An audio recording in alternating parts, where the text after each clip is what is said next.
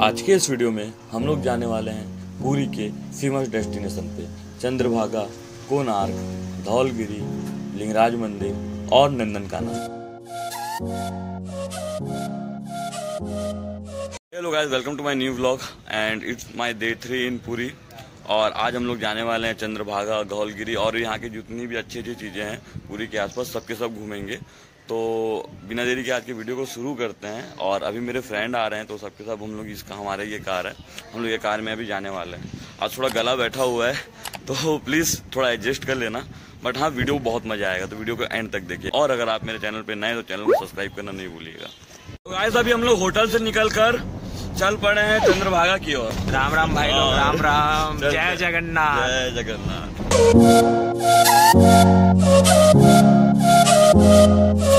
पूरी से तकरीबन 35 किलोमीटर हम लोग आगे आ चुके हैं और हम लोग हम लोग खड़े हैं चंद्रभागा बीच में। यहाँ पे सनसेट और सनराइज के लिए बीच बहुत ही फ़ेमस है। चलो देखते हैं अभी क्या है कैसा है। और भाई आप जो अभी हम लोग के सामने देख रहे हो ये हमारा उड़ीसा का मोस्ट फ़ेमस चीज़ जिसको हम लोग बोलते हैं दही बड़ा शिद्दत से बना रहे हैं। चाचा कितना साल से काम करते हो? यहाँ पे कितना साल से काम कर रहे हो? पंद्रह साल हो गया। और कितना कमा लेते हो? एक दशक पार कर दिए हैं। दूसरे दशक की ओर। गाइस अभी मैं ठीक सामने हूँ चंद्रभागा बीच के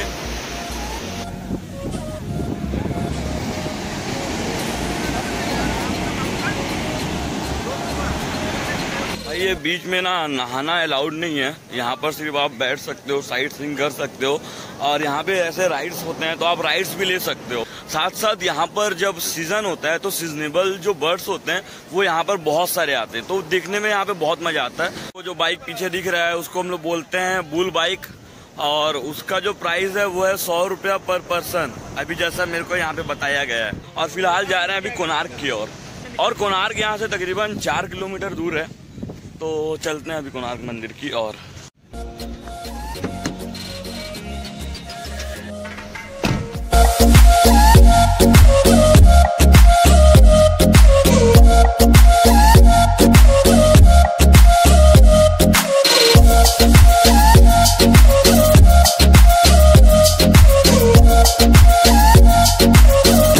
भाई, अभी हम लोग फ़िलहाल ले चुके हैं यहाँ से टिकट। ये कुछ इस टाइप का टोकन है। नहीं है हम लोग के।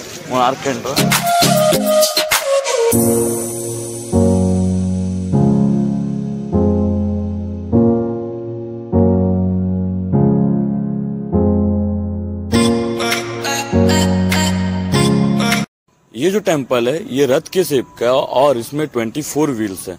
सात घोड़े हैं और 24 व्हील्स इंडिकेट करता है 24 हार्स को।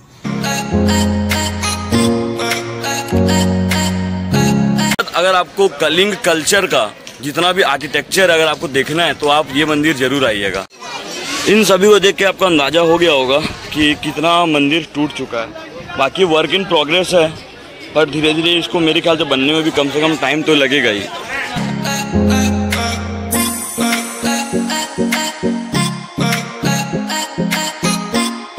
कोणार्क मंदिर में देखने और जानने के लिए बहुत सी चीज़ें इसलिए मैंने इसके ऊपर एक सेपरेट वीडियो बनाया है। उस वीडियो का लिंक आपको आई बटन पर मिल जाएगा। तो उस वीडियो को ज़रूर देखिएगा। तो दोस्तों, अभी हम लोग फ़िलहाल आ चुके हैं कोणार्क मंदिर से और कोणार्क मंदिर से निकल कर अभी हम लोग जा रहे हैं भुवनेश्वर की ओर। भुवनेश्वर में हम लोग घूमेंगे अभी धौलगिरी। तो चलते हैं वहाँ पे, देखते हैं।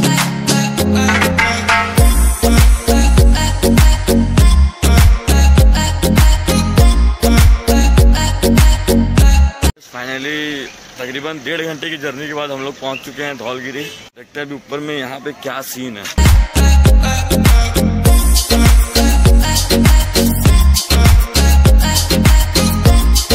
और भाई, ये जो धौलगिरी टेंपल है, ये एक बुद्धा टेंपल है। और अभी हम लोग जा रहे हैं ऊपर की ओर।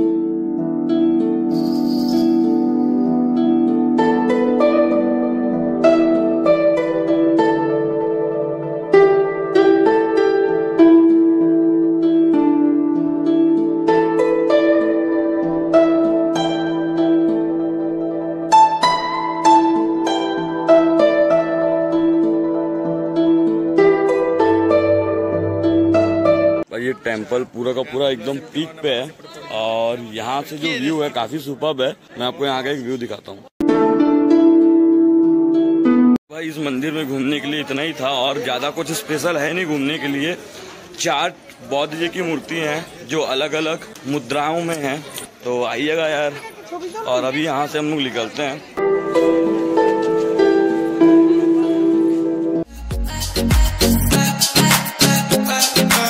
धौलगिरी मंदिर से हम लोग निकल कर पहुँच चुके हैं लिंगराज टेंपल लिंगराज टेंपल जो ये भुवनेश्वर में है और ये जो है एक लौता मेरे ख्याल से एक लौता मंदिर है जहाँ पर 105 शिवलिंग है।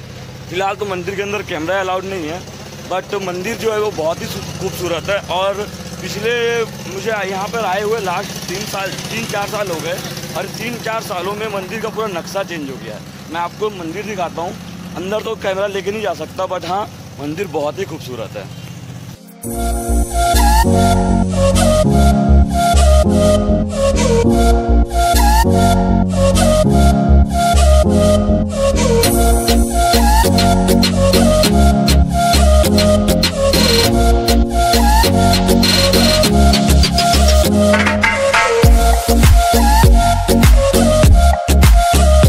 फ़िलहाल में हूँ मैं मंदिर के ठीक सामने। और काफ़ी डिसअपॉइंटमेंट हो रही है यार, क्योंकि इतनी दूर से हम लोग आए हैं। और ना ही जगन्नाथ जी के दर्शन हुए, ना ही लिंगराज टेंपल में महादेव जी के दर्शन हुए। मतलब जैसे एक बच्चा है, उसको कोई खिलौना नहीं मिलता था, जिस तरह उसको फील होता है। सेम उस टाइप का थोड़ा थोड़ा फीलिंग है यार। और भगवान से बस यही दुआ है यार कि जल्दी जल्दी जो भी कोविड का चीज़ें हैं, सबको हटा दें। और हमें अपने दर्शन अच्छी, जल्दी से जल्दी दे दें। तो अभी हम लोग यहाँ से चलते हैं नंदन कानन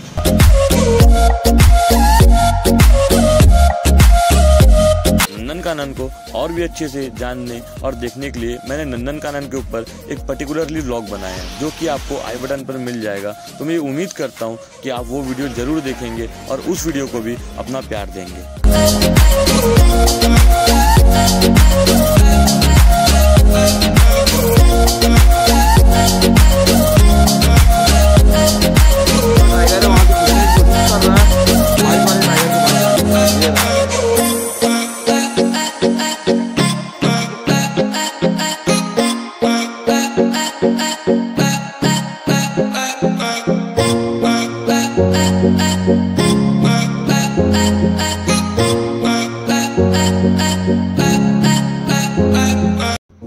करता हूँ, आपको ये वीडियो पसंद आया होगा। अगर ये वीडियो पसंद आया तो वीडियो को लाइक कीजिए, चैनल को कर दीजिए सब्सक्राइब और मिलता हूँ आपसे अगले वीडियो में। तब तक के लिए गुड बाय। यार, तेरा YouTube पर ऐसा ही फ़ेमस है। मिलियन में गाना मेरा हिट लो पेपर्स अपना बहुत सारा सिलेबस से छोड़ो ना।